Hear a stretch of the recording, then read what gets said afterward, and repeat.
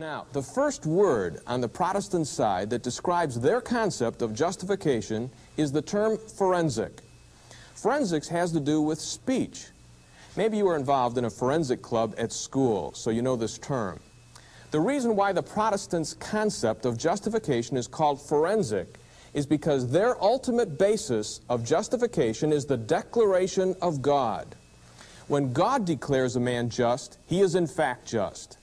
This concept is based on the scriptural passage in Romans chapter 4, where the Apostle Paul appeals to the life of Abraham.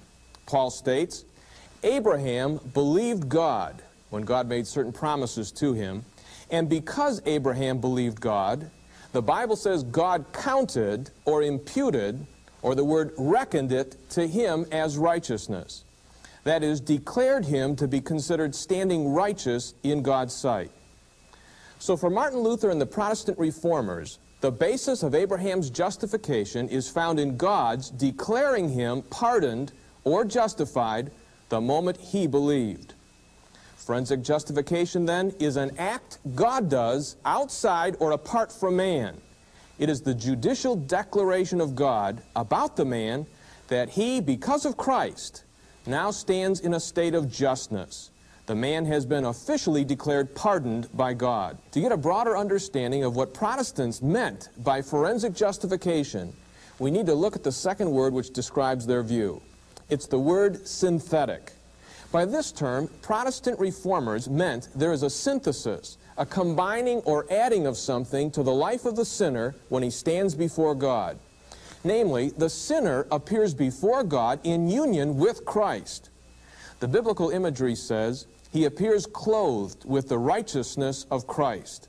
That is, the righteousness, the merits of Christ are imputed to him and cover him. God declares a sinner just, not in and of himself, but he declares him just in Christ. It's the merits of Christ that constitute a man righteous, not the merits of the man. Now, to say that the merits are imputed, which is point number three underneath the Protestant side, means that they are reckoned or counted or transferred from the account of Jesus, so to speak, and placed in the account of the sinner. So, the moment the sinner believes in Christ, God sees him standing before him with Christ, and all the riches and merits of Christ cancel out the sinner's debts. The synthesis has taken place. That is, Christ and his merits have been added to the account of the sinner. The sinner offers nothing of his own, but everything of Christ. It's on the basis of the merits of Christ alone, which are imputed to the sinner, that allows God to declare him just.